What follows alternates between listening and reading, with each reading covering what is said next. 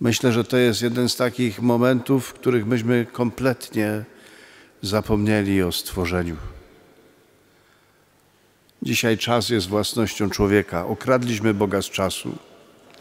Zawłaszczyliśmy sobie czas kompletnie i używamy go w sposób szalony. Gdzie jest w naszym życiu czas dla Boga?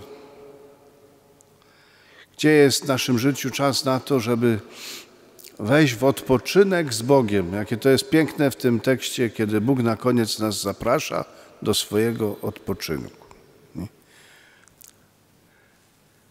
Ale żeby to zrobić, to trzeba mieć to wyczucie, że Bóg ma prawo do czasu i Bóg mu nadaje sens.